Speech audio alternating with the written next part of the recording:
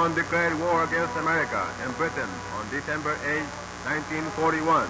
Nippon Navy attacked Pearl Harbor, which the United States boasted its strength as the strongest in the world.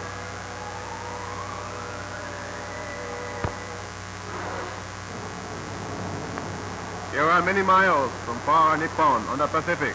Our carriers sweep toward Hawaii, and all preparations on board are completed. Strong wind blows a velocity of 17 meters per second. The sea is rough, and the waves are high, crashing against the side of the ship. The thunderous noise.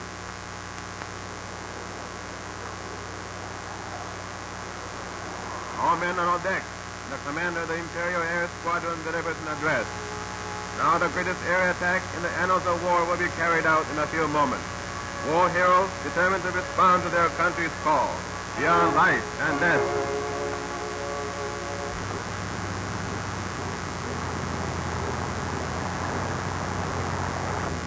One by one, Navy Eagles hop off from the deck, carrying the load of many bombs with the smoothness of the seagull.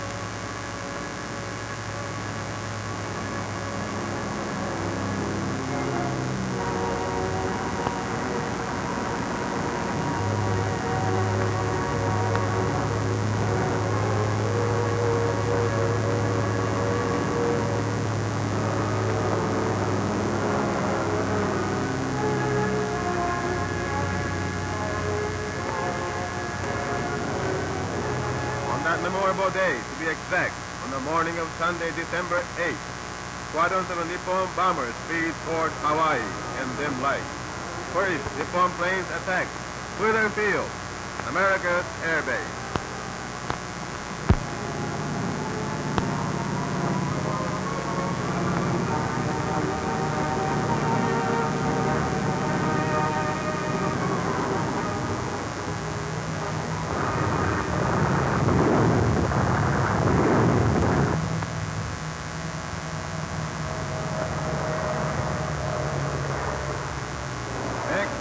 Island, Nippon planes release heavy charges.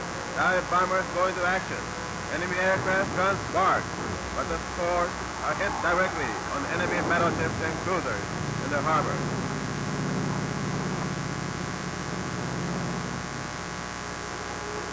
This shows the miserable state of American Navy, which once boasted of its strongest fleet in the world.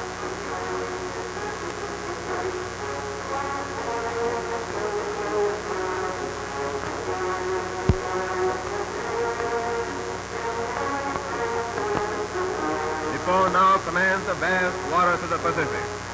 Her mighty warships plow the waves majestically.